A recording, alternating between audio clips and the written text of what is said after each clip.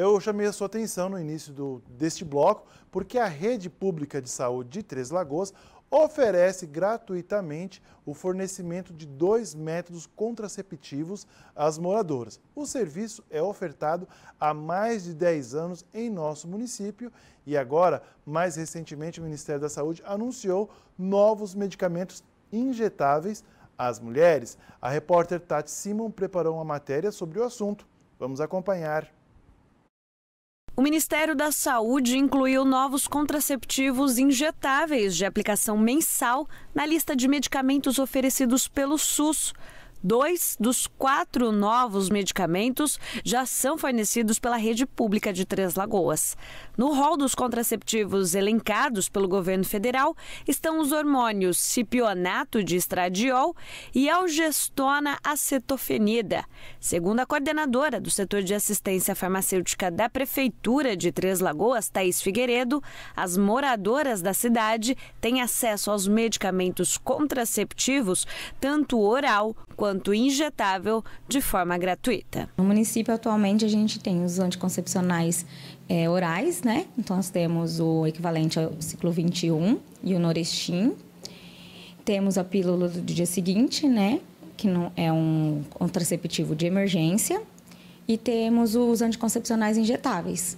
A gente trabalha com dois anticoncepcionais injetáveis, um mensal e um trimestral.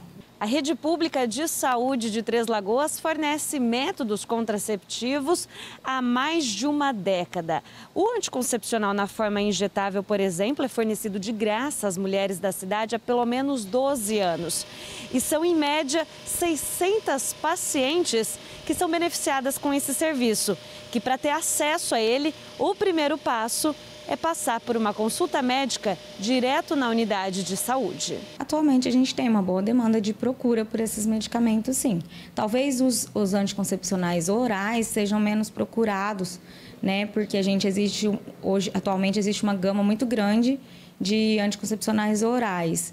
E aí de, e depende muito da adaptação da mulher àquele tipo de hormônio. Então, é, talvez o, os orais a gente tem uma menor procura, mas os anticoncepcionais injetáveis a gente tem mais procura, sim. O anticoncepcional está disponível em todas as unidades básicas do município, tá?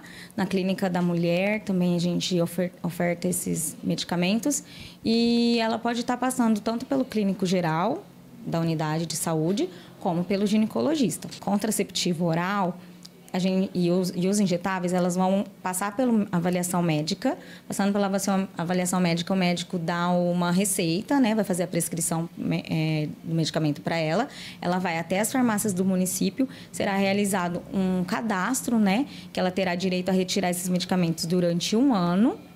E nesse um ano, ela vai ter uma carteirinha que ela vai anotar a data correta. É muito importante frisar que os anticoncepcionais injetáveis, eles precisam ser aplicados na data correta, né? Senão você não tem a efetividade do medicamento. É justamente o médico que decide qual o melhor método contraceptivo para cada paciente. Quem confirma é a ginecologista da rede pública de saúde, Paula Zuca. A mulher que, que quer, deseja o planejamento, que a gente chama isso de planejamento familiar, né? Que é a mulher é, saber quando ela quer engravidar. Então, no caso, ela pode procurar aqui o nosso posto.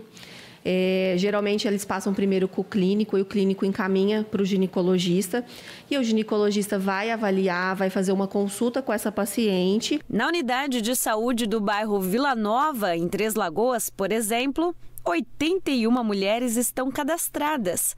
O número inclui moradoras que recebem o contraceptivo oral e injetável. E, aliás, é por lá mesmo que a farmacêutica do postinho aplica o hormônio na paciente.